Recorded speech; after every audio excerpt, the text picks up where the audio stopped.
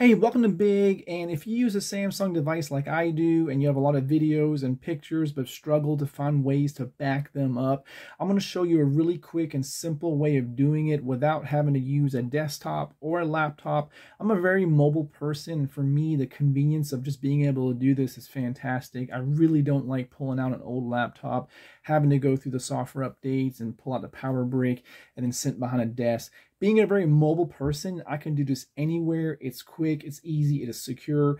I'm not a big fan of having to use cloud services, and the memory amount that you can get here is really, really cheap compared to some other options. So if you haven't thought about it, this is an external hard drive. You can get these from Amazon, from anywhere. I'm not sponsored, but this particular one is a one terabyte that I got off of Amazon. It works great. And this is pertaining to a Samsung device, especially some of their newer devices don't have expandable memory. This is really super helpful for me. Now, what you do need for this to work, uh, especially for the Samsung that I'm using, which is going to be an S22 Ultra. I also have an A52 model, and I'm here in the screen. I'm showing you an old S7 or S8, but you need a cable that's a Type-C on one end and a USB on the other end. And what you simply do is you just plug it in, and once you plug this thing in, it will automatically recognize the hard drive. So I'm going to plug it in here real quick, and you can now see the light has turned on. It's firing up. This is not a solid state drive. This is a traditional one that spins. So when I bring it in close, you can see the lights on and it's vibrating a little bit on the table. Uh, the reason why I like this, uh, because I can get a lot of memory for a lot less money. So now I'm going to switch to the screen on my phone to show you how easy it is to transfer pictures, videos, anything you want content from your phone to this to the secure backup storage. If you like this type of content, don't forget to subscribe, hit the like button, leave me a comment on anything else you'd like to see, and I hope this video is helpful for you.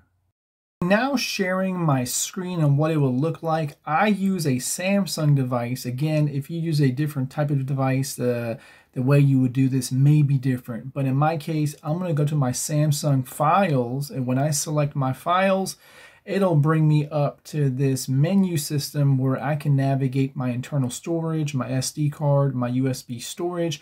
You should notice my USB storage, which is the hard drive, is nearly one terabyte. I've already transferred 62 gigabytes of information to it. So now I'm going to show you how exactly I transfer a video. The first thing I like to do is to go into the actual USB storage, which is this external hard drive. Here, I can actually create a new folder, which I'm going to do here. I'm going to select the create folder. I'm going to label this folder uh, new videos just for this example.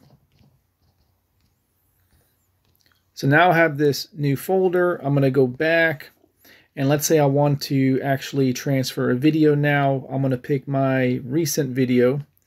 Uh, as a matter of fact, let's pick a couple recent videos. So here's three of these videos that we just did. I'm going to select the option copy.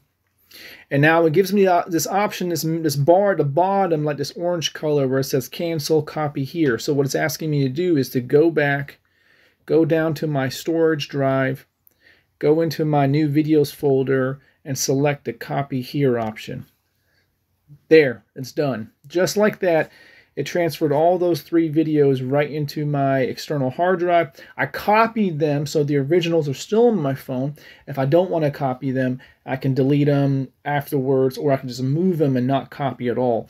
So anyways, that's how quick and simple and easy. I was able just to move videos. And you can do this with pictures or anything you want. And this is how you do it from a Samsung Android device. So I do encourage you, pick up an external hard drive like the one you saw here. Very helpful. You don't have to buy a very high capacity phone and you don't have to worry about memory cards if you don't want to deal with them. This I do this occasionally and it frees up a lot of space. So again, I hope this video was helpful. Thanks for watching.